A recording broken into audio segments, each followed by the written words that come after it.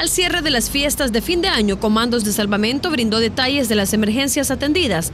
Lamentablemente no son buenas noticias. En comparación al año pasado, estas se incrementaron. Hemos atendido un total de 333 emergencias y urgencias, esto pues a nivel nacional, eh, destacando eh, tanto niños quemados, eh, eh, dos adultos de igual manera quemados. Las mayores emergencias fueron los quemados, que son tres los que hemos atendido en este año, y de igual manera pues los mismos eh, lesionados, que hemos tenido 94 personas lesionados de 40 accidentes y de igual manera pues un total de 118 rescates simples y profundos. El incremento de accidentes es alarmante. Es por eso que hacen un llamado para que la población tome conciencia de la responsabilidad que cada persona tiene al momento de conducirse en carreteras. Con imágenes de Ronnie Rivera, Jennifer Hernández Noticias, Cuatro Visión.